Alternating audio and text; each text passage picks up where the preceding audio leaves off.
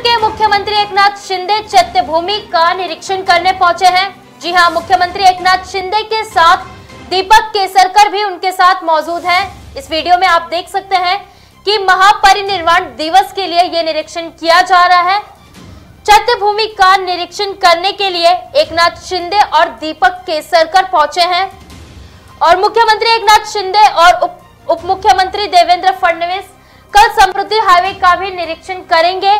और आज मुख्यमंत्री एकनाथ शिंदे और उनके साथ दीपक केसरकर भी चैत्यभूमि का निरीक्षण करने पहुँचे हैं।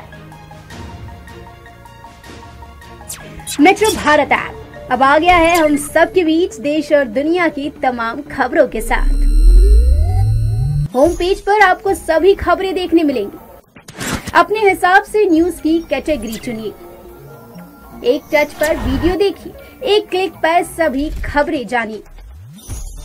हर समय, हर जगह। आपके फिंगर टिप्स पर मौजूद रहेगा metro Bharat. Metro Bharat app अभी डाउनलोड करें गूगल प्ले स्टोर और ऐप स्टोर से।